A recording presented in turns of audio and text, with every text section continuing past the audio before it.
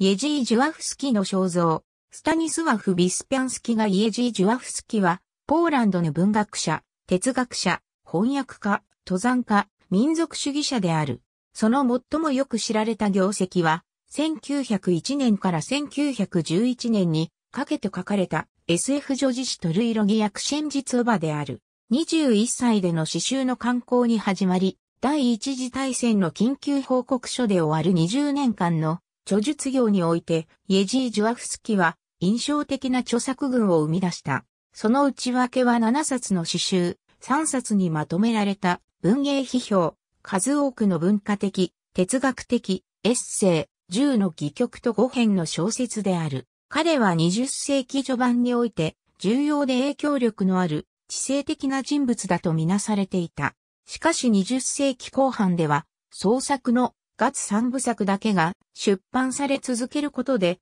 彼の文学上の不滅性を保証していたに過ぎなかった。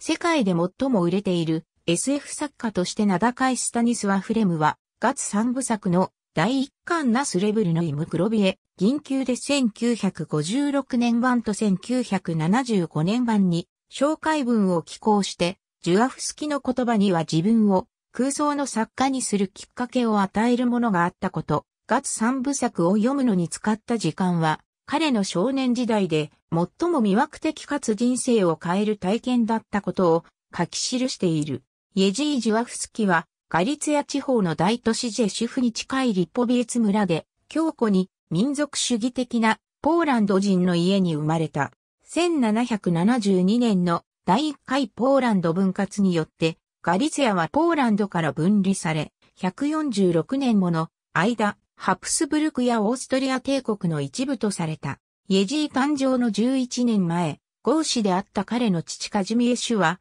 ツァーリの法律に対する1863年の1月放棄に加わった。カジミエシュは若いイエジーの人生に多大な影響を与え、イエジーは父と多くの見解を共有するようになった。リマノバ、ボフニャ、クラックフの良い学校で教育を受け、1892年から99年まで、ジュワフスキはスイスへ行ってはじめチューリッヒ大学で学び、そしてベルン大学で実証主義者のリヒャルト・アベナリウスの指導のもと、博士号を取るべく哲学の研究を続けた。アベナリウスは、ジュワフスキがスピノザに関する博士論文出す。Problem der Kausalität bei Spinoza を1889年に発表する前に他界した。ジュワフスキは、後に、そのドイツ語原稿を加筆修正して、1902年にポーランド語の一般向けの本 Benedykt Spinoza, człowiek i dzieło とした。彼はまたニーチェ、ショーペンハウエル、エドアルト・フォン・ハルトマンについて書き、そして彼らの著書のいくつかに関しては、史上初のポーランド語訳を世に送り出した。ヘブライ語の旧約聖書、タルムード、数多い東洋の哲学者たちの著作物についても同様である。イエジー・ジュアフスキの名前が冠された初めの観光物は、これもやはりベルンで書かれた。クラックフの出版社に送ったナストルナフドシという短い選集が1895年に出版された。ドイツ語圏のベルンにおいてたった一冊のポーランド語の詩集はさして注目されなかったが、この若い作家はそれを取り上げたいくつかのポーランドの報道機関からそこそこの賞賛を受けた。10年後、ジュワフスキの一時的な名声の高さにより、この本は実験作であり彼の実力が真に発揮されたものではないとみなされるようになった。彼は文学雑誌クルイティカの編集を補佐するため1899年の春にポーランドへ帰り、クラックフで結婚した後、まず安で学校教師になった。彼のエッセイの多くは別の文学雑誌ジチェで発表された。ジュワフスキの研究は彼がスインテティチュヌイモニズムと呼ぶ哲学的世界観を構成した。彼はその方法論をムーダ・ポルスカとして知られる20世紀初頭世代のインテリたちが直面していたジレンマを概念的に解決するために使おうと試みた。刑事上学者であり、芸術を刑事上学の部門に組み入れるというアイデアの首相者である。彼は、長ドシャというスローガン及び、絶対性の表現としての抽象的な理論に具体的な形を与えようとした。彼が関心を持ったことは、文化の発展と進歩、創造の分野を統率するインテリの義務、社会生活における個人の役割であった。総合的一元論の中心となる命題は、存在が精神的であると同時に、物質的でもある実体、すなわち絶対性と過程であるという思想に基づいていた。銀球でハンガリー語版の表紙1901年末までには、ジュワフスキは教師の仕事を断念して旅行と執筆に専念していた。この頃完成させたものに、大作の第一巻、悲劇的に不運な月世界探検を描いた銀球でがある。この作品には最後にピサウェムフクラコビエ、ブジミエ1901から2という言葉が付されている。銀球では地道な努力によって1901年12月から1902年4月の間、文学雑誌グースナロドに連載された。そして1903年にはルブフで改訂版が出版された。次の5年間、それは他に類を見ない作品であった。しかし1908年の秋から1909年の春の間、ズビチェンスツァと題された続編の連載がクリエル・バルシャフスキ市場で開始された。続けられるうち、話中ではいくつもの世代が重ねられ、幾世紀もが過ぎていき、それは前作、銀球でと比べてより長く、より複雑で、より哲学的な作品になっていった。改訂され、単行本として出版されたのは、1910年である。なお1910年は、最終巻スタラジェミアの第1回が市場に登場した年でもある。これは、勝利者の直接的な続編で、前作の主人公、勝利者、マーレクの宇宙船を使って、月の Y 人の二人組が、先祖の惑星、地球に帰ろうとする物語である。国民の声氏は1911年の春に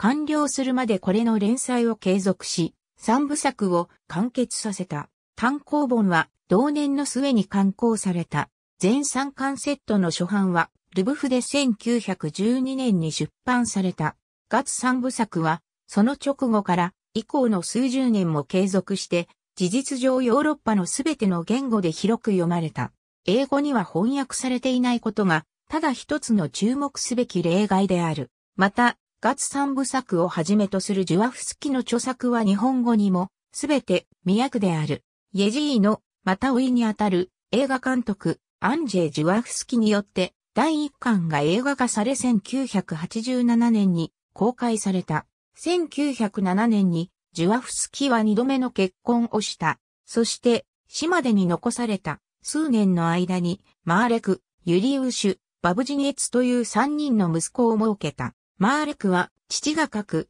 女児的物語、勝利者の悲劇的主人公と同盟になった。イェジーの早い死のため、子供たちは父から直接に物を教わる機会を持たなかったが、彼らは三人全員が父の登山趣味を受け継ぎ、登山目的の探検に多くの時間を費やした。マーレクは画家に、ユリューシュは父と同じく詩人、小説家、詩の翻訳家に、バブジニエツは作曲家になり、三人兄弟は芸術における名声も父から受け継いだ。1901年以降、時間が許す限り、ジュアフスキはポーランドで最も有名な登山の町ザコパネで過ごした。1910年までには彼は大きな家を買い、妻子を連れてそこに移り住んだ。彼は地方の文学誌ザコパネの副編集者になり、多くの著名作家や友人たちに歓迎された。例えばカジミエ・シュプシェルバテトマイエル、ヤン・カスプロビチ、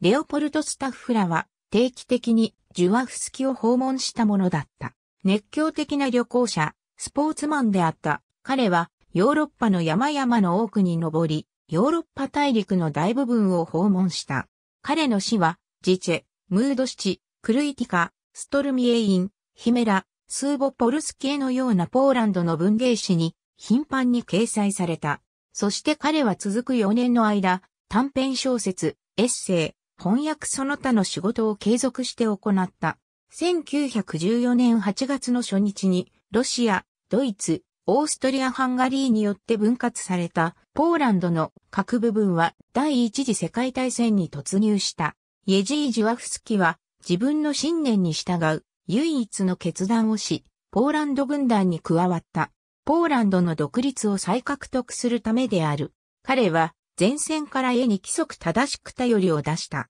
そして、ウッチでは軍団の報道部で重要な字を与えられた。ここで彼は新聞ドブロニを編集、執筆した。1914年の終わりになると、ジュワフスキはウィーンでナチェルヌイコミテとナロドビに選出された。1915年4月にピオトルクフへ転属になり、ポーランド軍団本部で第一旅団司令部との連絡を受け持った。8月の初め頃、前線にいる間、彼はチフスにかかり、数日間の闘病の後デンビツァの野戦病院で死亡した。41歳。三男のバブジニエツは、その半年後、1916年2月14日に生まれた、イエジーの未亡人カジミエラ・ジュワフスカは、その後、息子たちを連れて、ワルシャーに移り住んだ。彼らは、第二次世界大戦の間もそこに居続けた。カジミエラと息子バブジニエツは、ポーリッシュレジスタンス及び彼らのアパートにかくまった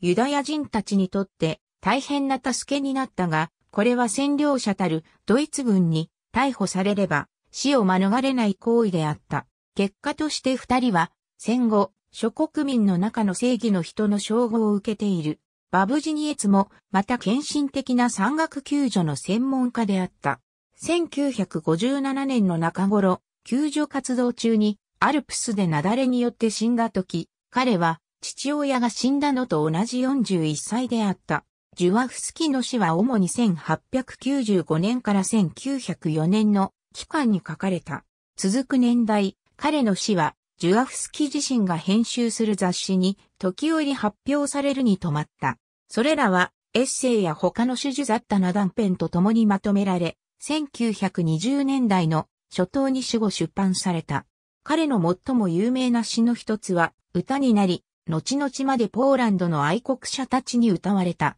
ド・モイッチシンオは1914年、ウィーンにおける彼のごく短期間の軍務期間中に書かれ、スタニスワフ・エキエルトによって曲を付けられた。1904年から1907年の間、ジュアフスキの創作意欲は主として戯曲に向けられた。彼の最初の劇は、ポーランド独立の苦闘を思い出させることを目的とした愛国的な作品だった。しかしその後は、テーマとして心理学的な洞察や若者の解放を扱うようになった。最も成功した戯曲は幻想的なエローストプ集計で、これは観客の心の奥深くに神話、伝説、ファンタジーという象徴的な素材を通じて感銘を与えようとする時代精神の表れだと受け取られた。時々書かれる歴史物もまた厳しい現実より詩的表現と無因視を強調する傾向にあった。ジュワフスキの劇への熱意は多くの批評家たちによって疑いの目で見られたが、多くの作品は一般の慣習に広く受け入れられた。タデウシュ・パブリコースキのような一流舞台監督に手掛けられた時や、イレナ・ソルスカのような有名女優に演じられた時には、とりわけ好評であった。銀球で検証の図版シリーズ第一巻たる本作は、誤算に基づいた悲惨な月世界探検の物語である。21世紀、多国籍の探検隊が月へ向かう。宇宙船は月面にこう着陸し、イギリス人、アイルランド人は死亡、帰還の望みは絶たれる。ポーランド人の主人公、ヤン・コレツキー、ドイツ人女性のマルタ、ブラジル系ポルトガル人のペドロは、空気と水を求めて、月の裏側を目指す。彼らはかろうじて生存できる地にたどり着き、マルタとペドロは結ばれ、奇形のガツ人、第一世代が誕生する。恋に敗れ昇進の主人公は彼らとは隔絶して、ガツ人の観察と記録に先進する。ガツ人たちは、近親相関で世代を重ねてゆき、地球機関という悲願を実現してくれる、救済者の来訪を待つ宗教を作り出す。半世紀近く後、マルタとペドロは等になく、孤立、キーも置いて死にかけていた。しかし彼は、最後の力を振り絞って、かつての富士着地点を目指し、宇宙船に積まれていた連絡用小型ロケットで手記を地球に送り出す。第2巻である本書は3部作中で最も長く、複雑である。舞台は前作の数世紀後。物語は前作の悲惨な探検以来初めてのガツロケットが目的地に着陸するところから始まる。この新型宇宙船は宇宙工学者マレクをガツ世界に運んだ。彼こそがガツ人が待ち望んでいた救世主であった。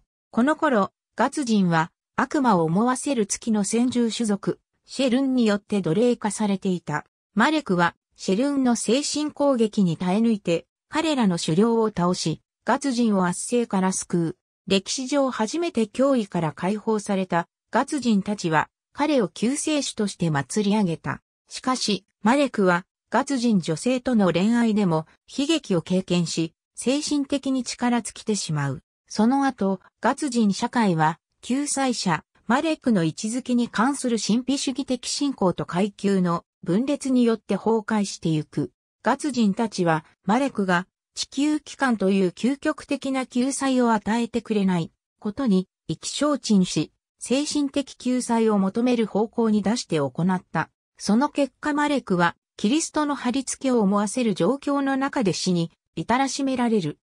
最終末期たる本作はマレクの殉教の直後の時代から始まる。シェルンという敵の消失により、ガツ人社会は統一されているべき理由をなくして混乱の極みにあった。二人のガツ人が避難場所を求めて、マレクの乗ってきた宇宙船に潜り込む。宇宙船は自動操縦であらかじめセットされていた通りに地球へ向かう。27世紀の地球で彼らは政治的作望の渦巻く様や過度の機械化が人間の運命までを左右する様を目の当たりにするのだった。雑誌及び新聞への寄稿が多かったため、ジュアフスキの著作にはあまり知られていないものも大量にある。その内訳としては、評論、哲学を論じたもの、加えて短編小説や詩が挙げられる。彼の死後しばらくしてから一部はまとめられて出版されたが、大半は散逸してままで全貌は把握されていない。